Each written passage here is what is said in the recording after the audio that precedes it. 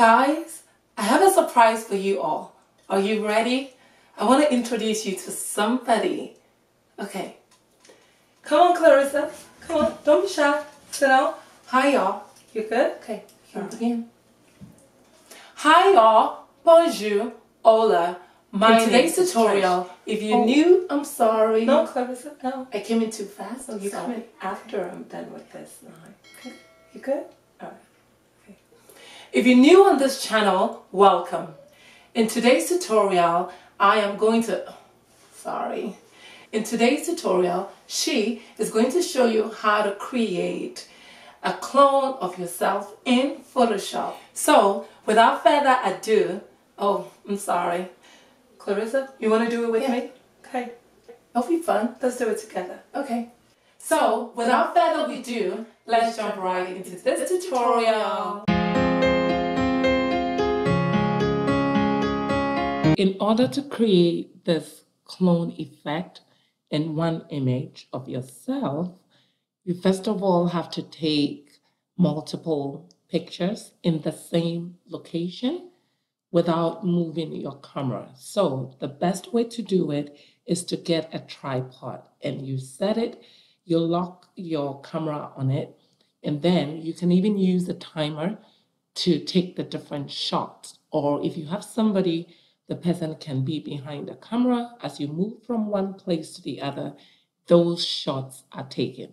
And what you have to do is take as many as you can and then select the best ones that you like. It can be three pictures, it can be five, it can be eight, however many you want to see yourself cloned in the same picture.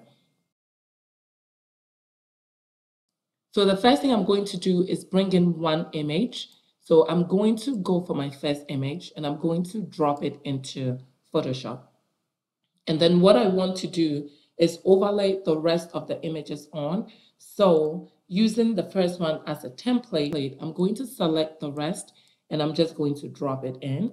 And the reason being you want everything to be in the same spot. So I'm going to double click so Photoshop can generate every time it's bringing in one image. You need to double click to deselect so it finishes uploading it. So once we have everything in, this is very simple to do. So what I'm going to do, I'm going to turn off these images first. And then we only have the first image. So I want to bring in the other image which is this. So what I want to do, I want to erase everything around the subject so that only the subject shows, everything around disappears so that we can see the subject that was on the right hand side. So simply you can pick your quick lasso tool or your eraser. I will go for the eraser and we have our eraser. We click in, Photoshop will ask you to change your layer to a smart object so it can show so it can allow you to erase. So now that we have our eraser activated, we are just going to brush on this area uh, to reveal our subject beneath.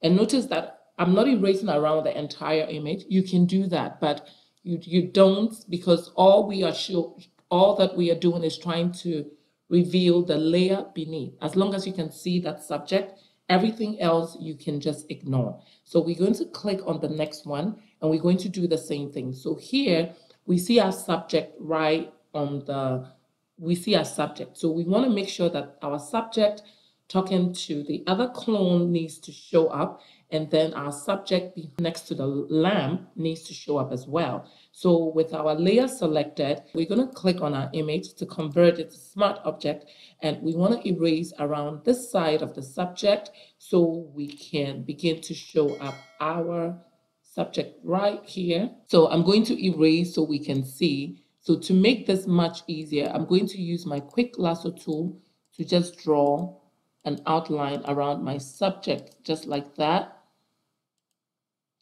And then with my eraser tool, I'm going to erase so we can see. I'm going to press Control D to deselect. If you make your eraser too big, you might end up erasing your other subject. So it's always easier if you use your quick lasso tool to just make a selection around your subject, or you can make your eraser head just a little bit smaller. So I'm going to click on the next layer. So here we see that our subject is in front and all the other ones are in the back. If I pull down my opacity, you can begin to, oh, I'm on the wrong layer. So I'm going to click back on the right layer. If I pull down on my opacity, you can see all the subjects in the background. So what we want to do, take this opacity all the way up, and we want to cut out our subject. So this is where you want to use the quick select tool because this subject is in front of. So you just want to select the subject and hide everything in the background. So we are just going to make a quick selection. So I'm going to click on my magic wand and I'm going to click on quick selection tool. We want to click on select subject with our layer selected for us. Photoshop is going to generate an outline around the subject. So if your selection is not perfect, all you have to do is zoom in and fix it. And I've done previous tutorials where I fix the areas that are not perfect in terms of selecting a subject. So with this selection, all I want to do, all you need to do is go to the bottom of your layers panel and click on the add layer mask and it's going to cut out the subject. And as you can see, it's very perfect. I really don't have to do anything to this selection. If you have to, all you have to do zoom in and do all your cutouts. So the next one that we want to bring in is the last image. And as you can see, this image, we really don't have a lot of issue because there is no overlay with any of the other subjects.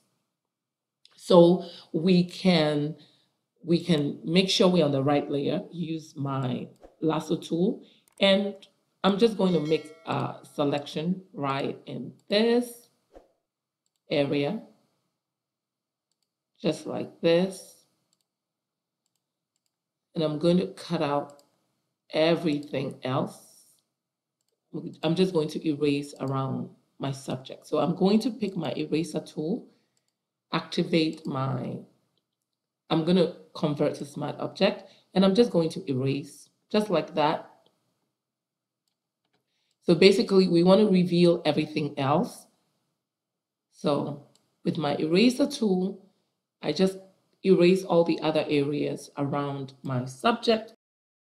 Press Ctrl D to deselect and as you can see, it's all done. It's very easy to do. It's not complicated at all. Oh, except the one for the video where you have to duplicate yourself. Now, if you want me to show you how I did that, you can comment below and I'll be glad to do that. So with that said, that brings us to the end of this tutorial. Have fun creating your own clone. If you want to try with my images, you can do that as well. I will drop them. I will drop a link to all of these five images in the description below so you can use and have fun. I hope you found this tutorial very helpful. Please like, comment, and subscribe.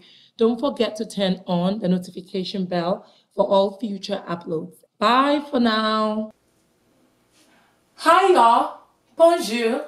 Hola. My name. No, Clarissa, don't speak. It's not your time yet. I'll let you know, okay? We good? All right. Yeah, I like us to do it. Yeah, I like to do it together. Okay, let's go. So, without further ado, let's jump right into this tutorial.